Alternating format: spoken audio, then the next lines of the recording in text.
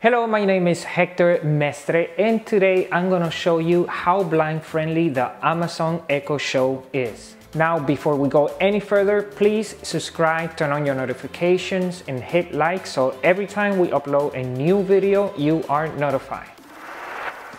The Amazon Echo Show 8 is a pretty cool device if you are looking forward to create your own smart home ecosystem. And I soon find out that blind people don't stay behind. So I'll show you how.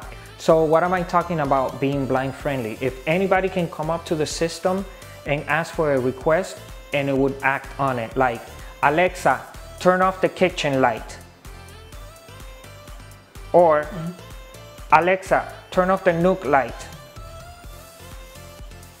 Okay. So you see, anybody can walk up to the system and ask for a request like that.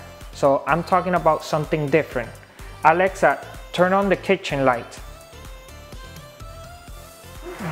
The Echo Show 8 is loaded with a voiceover software named Voice View, very alike to those on the iPhone, iPads, and Apple computer and any other Apple products.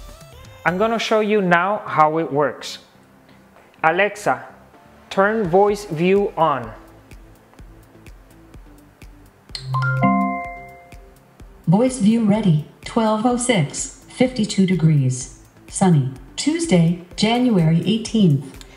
Now, the way it works is that wherever your finger is hovering around and you touch, right, it will speak anything that your finger is touching. 12.06 p.m. Alexa, open settings. Here's settings. So now I'm gonna search around.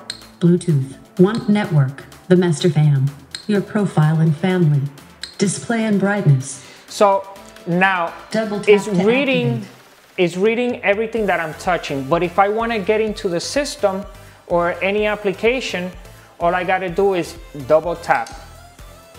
Display and brightness. Brightness okay. disabled. now it reads everything that's on the screen because most likely I won't be able to see it. Display now, and brightness. Brightness disabled. One five. Adaptive brightness. Adaptive Switch. brightness. Checked. Sunrise effect. Switch. Checked. You see? Adaptive color to blend in. Now I'm not interested on actually anything inside the menu. Back, back. So I double tap and I go back to settings.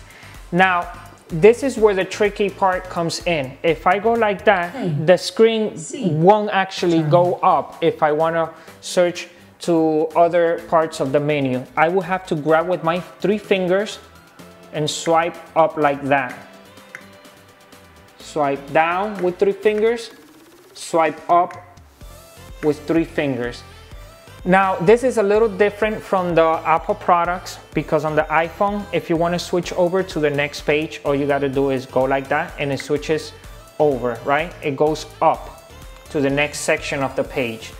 But in this one, you can actually grab and go up just a tiny bit if you are not interested on just going very uh, further down.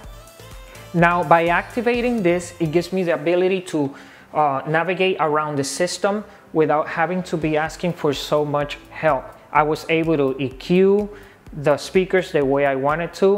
Um, I also was able to do different things with the settings that I have in my house with the lighting or schedules or different things like that. I really like it. I thought it was pretty cool that it was blind friendly.